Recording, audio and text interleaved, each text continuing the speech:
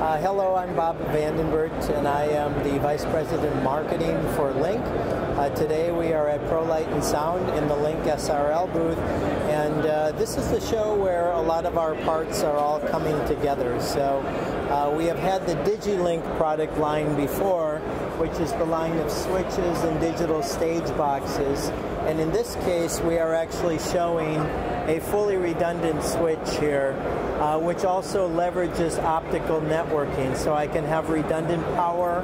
I can also have separate subnets using a special fiber technology called CWDM. And in this case, I have Dante running in a primary and secondary mode. We are running DMX or ACN here. We also have a spare LAN. And then additionally, I could be running DVI or SDI or some type of video as well over this. Um, it's leveraging some of the new Link fiber, so it's running in a complete ring topology. I can disconnect either one of these, and they connect over to box over there where I'm running all this technology. One of the other things that we are showing is this new hybrid connector, which is the LKG style connector. And you'll notice I have uh, gigabit Ethernet plus lines for power, and then separate uh, contacts for comms or digital audio.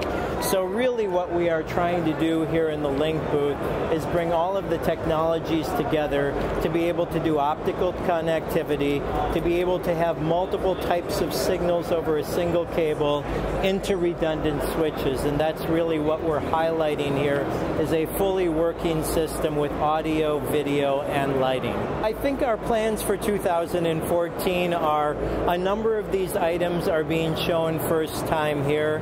So we are working very hard to bring this into production in Europe as well as in the States. And then we are working with power distribution products to supplement this as well. What we are really finding is that power and signal seem to be getting combined on most of the live productions now. So being able to accommodate video and audio, lighting control, and power distribution to provide one infrastructure, that's really where our focus is to bring all these